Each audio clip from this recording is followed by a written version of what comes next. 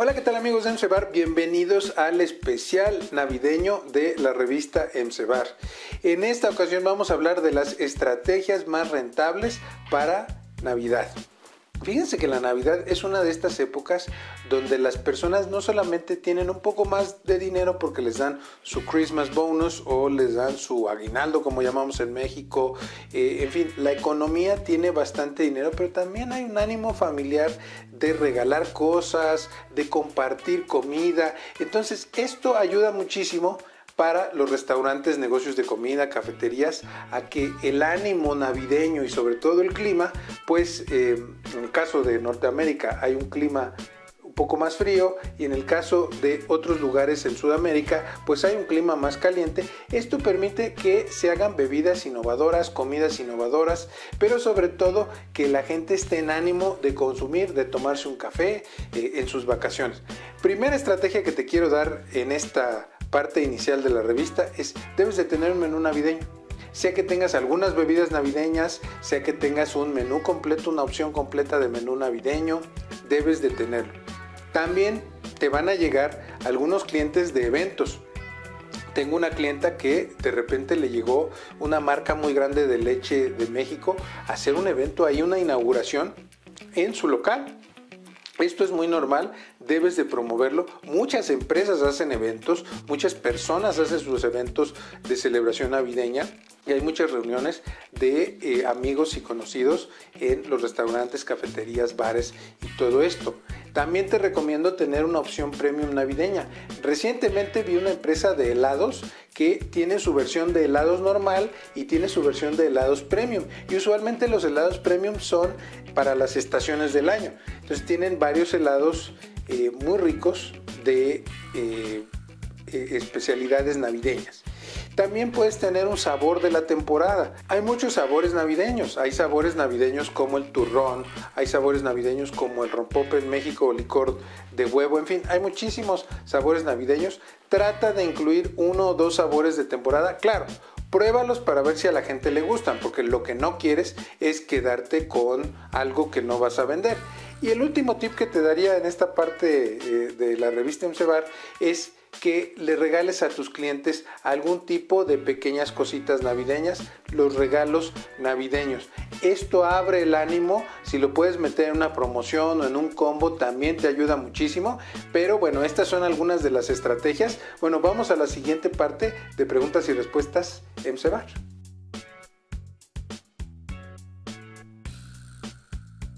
Bueno, ya estamos en las preguntas y respuestas. Aquí las tengo frente a mí. Eh, bueno, la primera eh, pregunta es de la señora Gloria Gómez de Tlanepantla.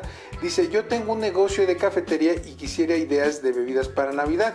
¿Qué me recomiendan? Bueno, así de, entrada de, eh, de recordar distintas bebidas que hemos diseñado o algunas que hemos hecho para nuestros clientes. A mí me gusta mucho el mocha cherry, que es una receta normal de mocha con eh, cereza, con una onza o onza y media de, cereza. Queda extraordinario. Depende si lo hacen con polvo o si lo hacen con jarabe, es un poco diferente. También gusta mucho el frappé de rompope para la gente de América Latina eh, que nos está viendo el rompope es un licor de huevo que hacen normalmente pues las monjas y varias empresas lo hacen eh, en México. Un frappé de rompope puede ser una forma de refrescar eh, el concepto navideño.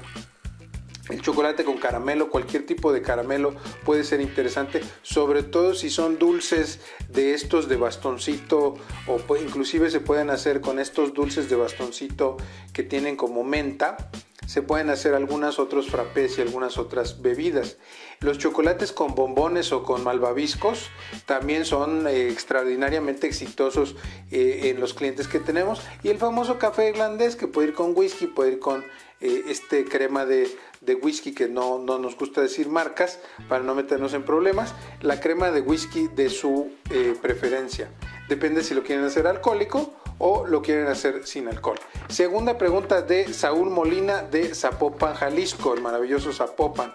Recientemente estuve por allá. Eh, quisiera sacar promociones de Navidad. ¿Tienen algunas ideas? Bueno, ya comentábamos al principio, menú de Navidad y eventos son dos estrategias perfectas. Claro, Guadalajara... Eh, tiene un clima un poco más caluroso en general. Si hace calor, pues eh, habría que ver los frappés. Si sientes que de repente hace frío, bueno, pues podrías incluir algunas bebidas de calor. Sería cosa de que tú lo vayas calculando en la Navidad. Con esto del cambio climático a veces ya no sabemos cómo va a estar el clima. Y Fernando L de San de Cholula en Puebla dice, tengo una crepería, ¿cómo sería bueno hacer crepas navideñas?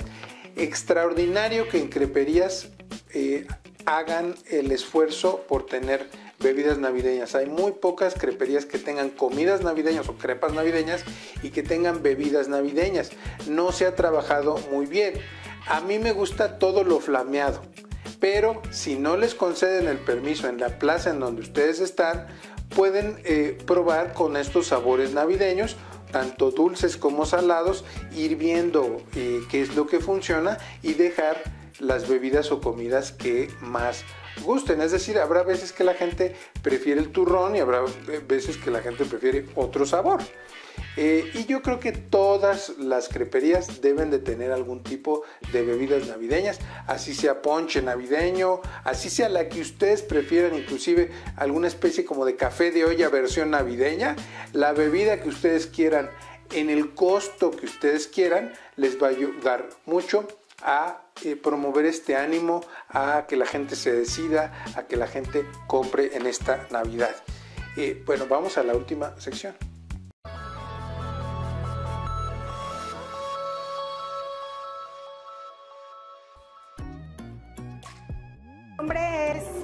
Juana Patlán Alfaro, estamos en el Café Quinto Elemento. Eh, Quinto Elemento se inauguró el 15 de marzo.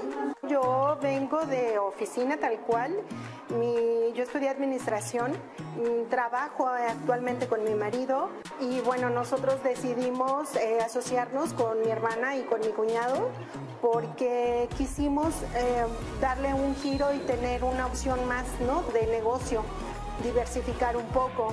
Entonces decidimos poner también el, café por esa razón. De manera muy personal, mi, mi, marido sí era de la idea de poner un restaurante, comida, cocinar, pero yo le decía a él que yo de manera muy personal yo prefería un café, ¿no? A mí me gusta atender a la gente, recibir a la gente, pero pasártela a gusto tomando un buen café, porque aparte tienes que dar un buen café. Entonces, pues bueno, afortunadamente me hizo caso y decidimos poner un café en una cafetería estábamos, dijimos, sí, un negocito así, algo a gusto, algo padre, que nos permita ahora sí que interactuar con la gente. Y solo sí, está padre, sí, pues está padre. Entonces hay que buscar un curso y nos pusimos a buscar el curso, llegamos con el CEBAR obviamente y tomamos todo nuestro curso y pues aprendimos mucho. Ya que nos dieron el local es, ¿qué vamos a hacer?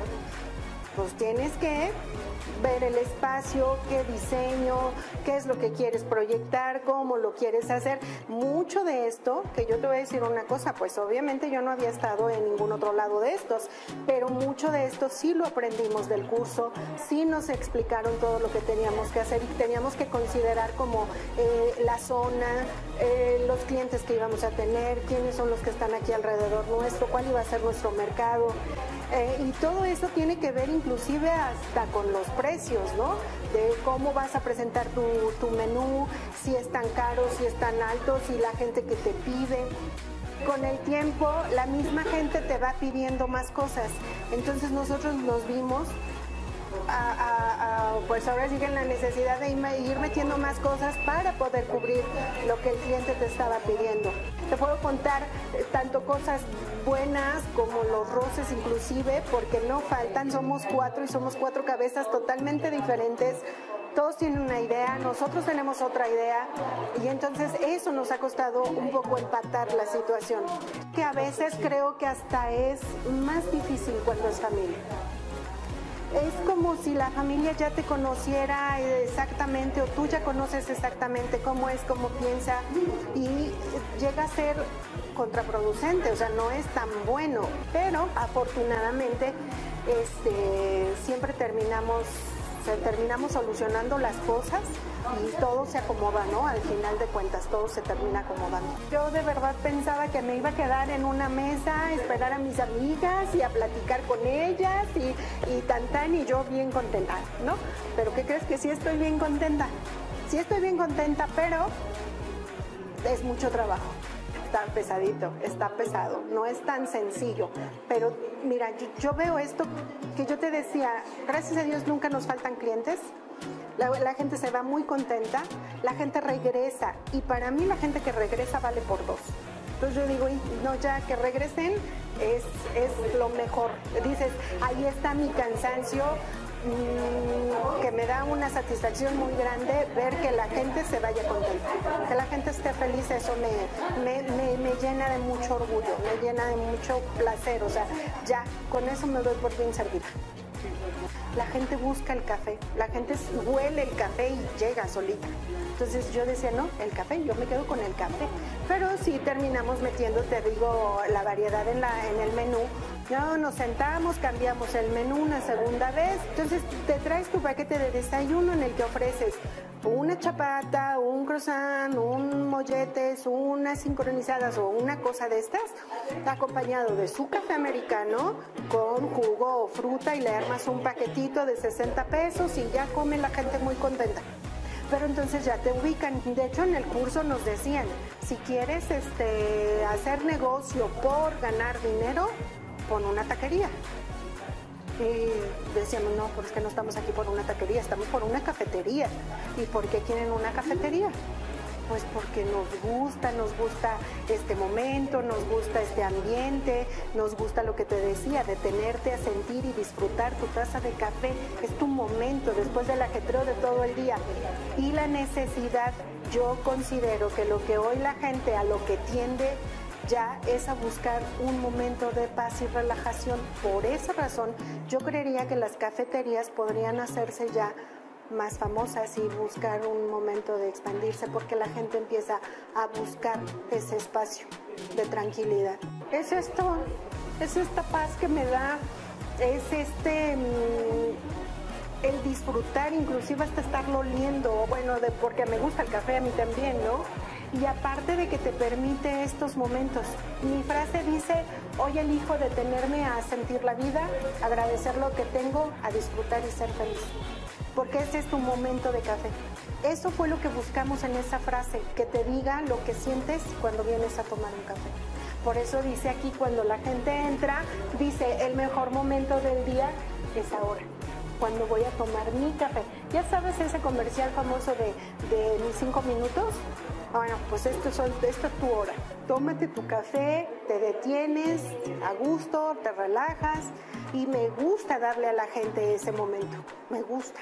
Me gusta que se sientan así. Es compartir, es rodearte de gente. O sea, este momento de paz es yo creo que lo que hoy en México necesitamos. O sea, ya es necesario.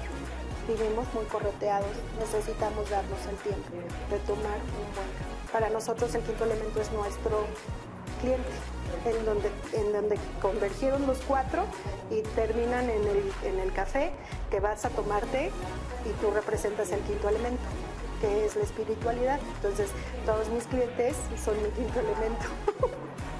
Ella tiene amistades que son del Starbucks y no los mueves de ahí. Y ya los traje, ya los trajo para acá. Entonces ya les gustó estar aquí y dijeron, pues es que para tomar un buen café mejor de este lado. Pero yo todavía los cotorrí les dije, pues si quieres te pongo el nombre en tu vaso para que te sientas en el Starbucks. Y me dijo, no, ya, con eso, ya con eso. La gente ha seguido y viene aquí, nos han dicho por la atención. Aparte, si les pones un buen café, pues la gente sigue viniendo a gusto. Eso es lo que creo que nos ha dado el éxito aquí. La gente se siente muy apapachada. Y yo soy bien barco, porque yo sí, siempre les estoy apapachando mucho, los consiento mucho, pero eso es una cosa de mi personalidad, de mi naturaleza, yo así soy. Y yo los consiento y los apapacho. En un principio, como aunque te lo digan, aunque lo sepas de antemano, que esto es un proceso y que no vas a ver nada hasta después de un año y que inclusive el trabajo, lejos de que te dé, le tienes que seguir dando.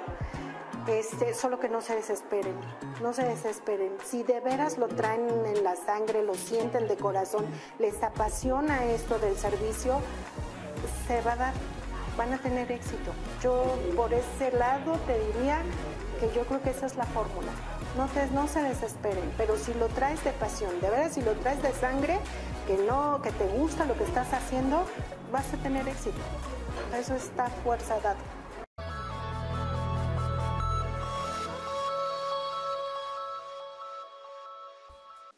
Bueno, ya terminamos nuestra revista MCBAR, se me pasó rapidísimo. Créanme que hacer estos videos con ustedes me encanta, me encanta verlos en las expos, me encanta cuando vienen a tomar los cursos, eh, saludarlos y darles algunos tips.